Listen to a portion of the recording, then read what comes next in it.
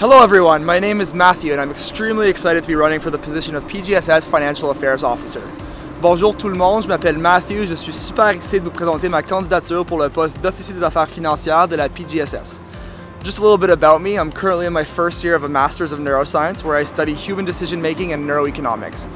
I did my undergrad here at McGill though, so I have been here since 2012 and I graduated this past summer.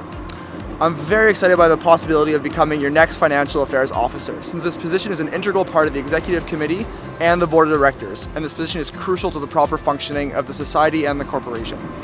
Since both of those bodies are of critical importance to the PGSS, this position is guaranteed to be a challenge for anyone coming into the portfolio.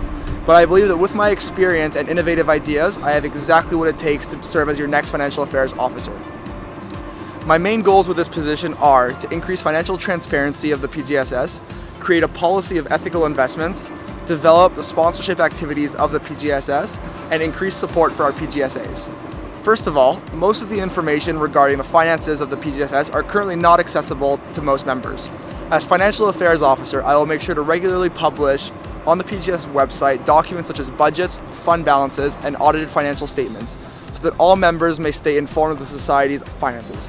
I will also endeavor to collaborate with the incoming Secretary General to ensure maximum transparency of our Board of Directors. Second of all, I believe that a policy about ethical investment is necessary since there are currently no rules or regulations regarding this, the type of companies or industries that the PGSS may invest in. This policy would outline both positive and negative attributes that the PGSS must consider when deciding which companies to invest in to make sure that our money is only being invested in ethical companies that align with the mandates of our society. Additionally, I would explore increasing the sponsorship activities of the PGSS as a means to increase our revenue. The activities of the Society offer a wealth of untapped sponsorship opportunities and additional sources of revenue. To help me accomplish this, I would like to create a position dedicated to this goal called the Sponsorship Commissioner and a sponsorship committee within the Financial Affairs Officer portfolio. Finally, I believe that the Financial Affairs Officer should offer additional support and guidance to PGSAs and their respective VP finances or financial officers. Accordingly, I will organize quarterly financial roundtables with VP finances from PGSAs to discuss anything ranging from the PGSS budgets, fees, and funds to any financial question departments may have.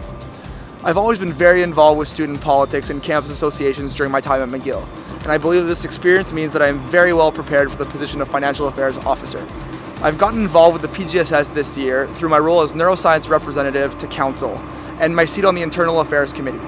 I believe that my previous experience as a member of the board of directors of the Student Society of McGill University has also prepared me for this position, such that I will be able to meaningfully contribute to the PGSS board of directors and executive committee from day one. I hope that I have convinced you and that my vision and experience are well suited for this role, and that I am the right candidate for the position of Financial Affairs Officer. Thank you very much. J'espère que je vous ai convaincu que ma vision et mon expérience sont idéales pour cette position et que je suis le candidat parfait pour la position d'officier des affaires financières de la PGSS. Merci beaucoup.